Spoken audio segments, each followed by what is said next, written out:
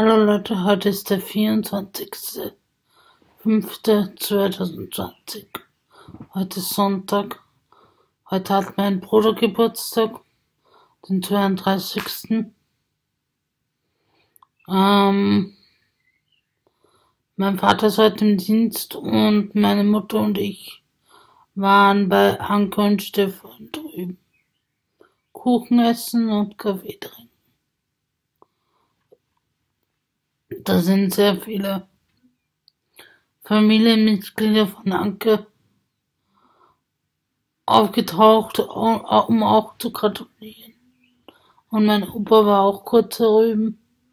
Der tut sich ja mit dem Gehen schon sehr schwer. Und ist schwer zu überzeugen, bei Familienfeiern Zeit zu nehmen. Aber er hat sich kurz zu uns gesellt mit dem Rollator und das war sicher nicht leicht für ihn, aber es war ihm dann auch zu laut und mir auch. Und nach zwei Stunden sind wir wieder nach Hause gegangen. Und es war ein typischer Sonntag, so wie meistens ist. Ziemlich langweilig keine Assistentin da, aber auch ein bisschen Zeit für mich und um mich hin und her zu überlegen bei verschiedenen Dingen. Und ab Montag möchte ich ja das Effektin absetzen. Und das war jetzt also ab morgen. Und das war jetzt so die Ruhe vor dem Absetzen und es hat mir, glaube ich, ganz gut getan und ähm, jetzt kann ich voller Energie positive Energie das Medikament absetzen. Und Juni wird sicher nicht leicht, aber weil Claudia so viele Stunden hat und fast jeden Tag da ist, bis 18 Uhr. Und ich glaube, dass mir das zu viel werden wird.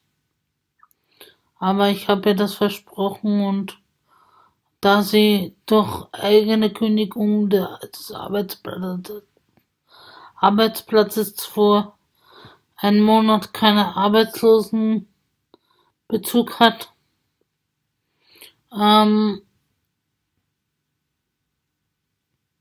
braucht sie das Geld und ich muss schauen, wie ich das organisiere und wie ich damit klarkomme und wenn es mir aber zu viel wird,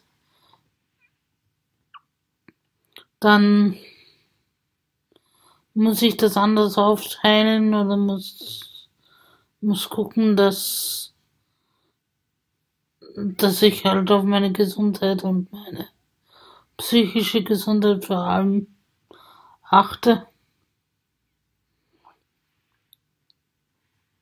Und man wird sehen, wie ich darauf reagiere, aber ich glaube, ich kann mich dran gewöhnen und ähm, dann ist es nicht so ein Problem, aber ich stelle mir das halt im Moment noch sehr anstrengend vor. Und das wird es sicher aber es ist ja nur für einen Monat und, und das ist die beste Lösung und deswegen muss ich mich darauf einstellen. Und ich habe jetzt auch überlegt, dass ich die Handyauszahlung ins nächste Monat verschiebe. Weil das doch 256 Euro sind, die ich dieses Monat gut gebrauchen kann. Und ja, es ist halt, es gibt so viele Gedanken in meinem Kopf wegen den stressigen Einteilungen und was das Finanzielle angeht und ähm, die Medikamente und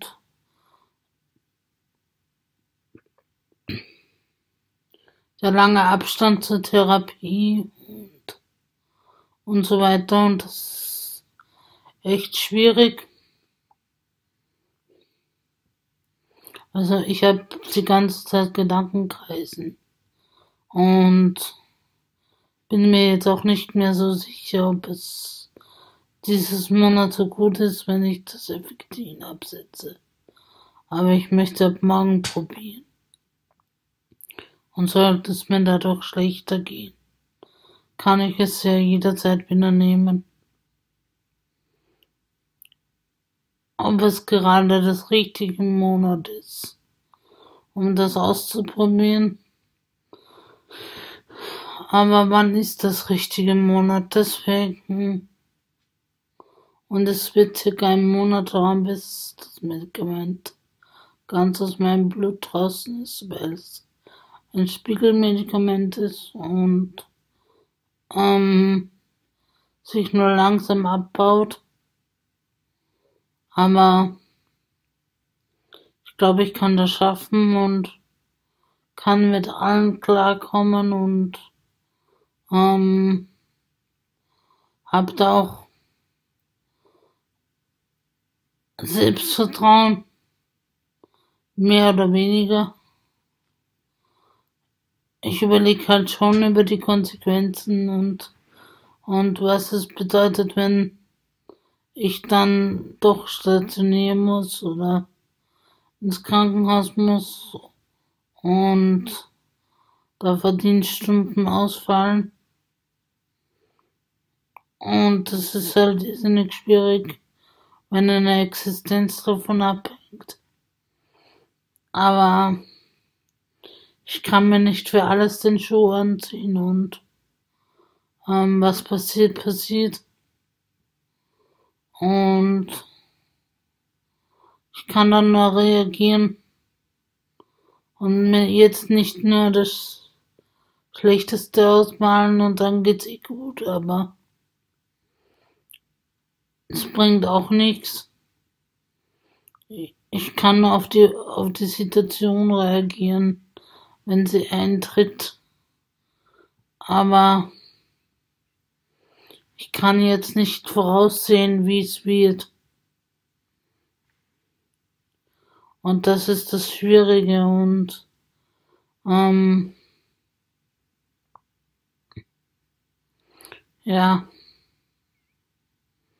heute war sonst gar nichts. Morgen habe ich wieder ein Telefonat mit Kirsten so gegen eins, also bis eins. Weil um eins kommt Claudia. Und ich glaube, dass mir das gut tun wird und dass ich das auch brauche. Und dass ich dann überhaupt gelassener reagiere wenn ich das Gespräch gehabt habe und auch in meiner Meinung noch mal positiv gestärkt bin. Aber das werde ich morgen sehen und ähm,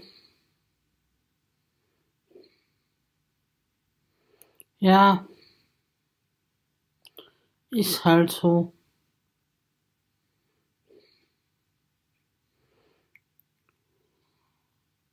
Sonst habe ich halt meinen Bruder gefragt, ob ihm mein Geburtstagsgeschenk gefallen hat und er hat ja gesagt. Hat es zwar noch nicht verwendet, aber er hat ja gesagt und das freut mich. Es war sicher nicht das beste Geschenk, aber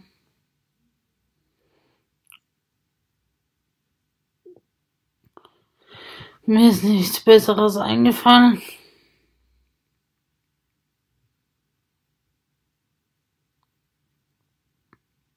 Ich bin halt auch schon sehr müde. und werde bald abschalten. Ich bin gestern auch schon direkt nachdem ich das Video hochgeladen habe eingeschlafen, bin dann irgendwann aufgewacht und habe meine Medikamente nachgenommen und habe dann weiter geschlafen. Ich hatte auch gestern wieder Kopfweh und heute auch. Ich habe fast jeden Tag Kopfweh. Aber das liegt bei uns am Wind. Und es ist einmal kalt und einmal warm. Und einmal regnet's und dann wieder nicht. Und das wechselhafte Wetter schlägt mir halt auf den Kopf und auf die Nerven auch teilweise. Die Frühlingsblüherallergie ist auch noch immer nicht ganz weg. Mein Auge brennt. Und das macht's halt noch komplizierter, weil ich mit Sonja kaum rausgehen kann, weil sie so eine Frühlingsblüheallergie hat. Und ich mittlerweile auch. Und wenn es mir mal besser geht, kann ich mit Sonja trotzdem nicht rausgehen, weil sie darauf reagiert. Und bei Claudia da ist, habe ich meistens irgendwelche Schmerzen oder oder Symptome von der Allergie und dann müssen wir auch rein. Und das ist sehr anstrengend. Ich weiß nicht, wie lange die Frühlingsblüher aktiv sind, aber es ist schon fast Sommer und ich spüre sie noch immer.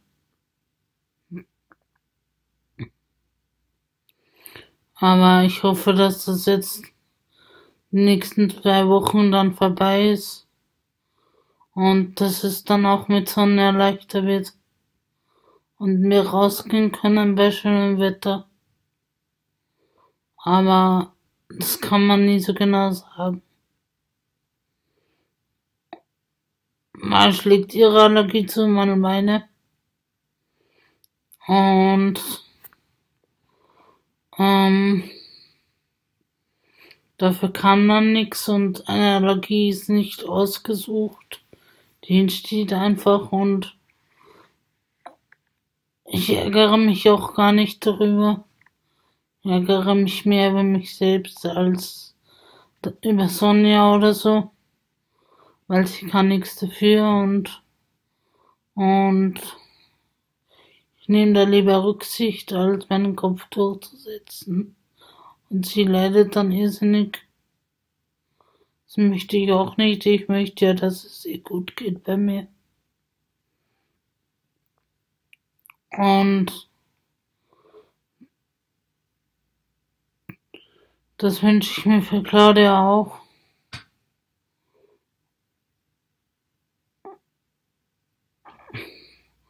Aber es ist halt von der Einteilung momentan komplett kompliziert. Und ja. Das ist momentan nicht einfach. Naja, ich wünsche jetzt noch einen schönen Sonntag, Restsonntag. Und bis zum nächsten Mal. Ciao. Eure Ines. Bis zum nächsten Mal.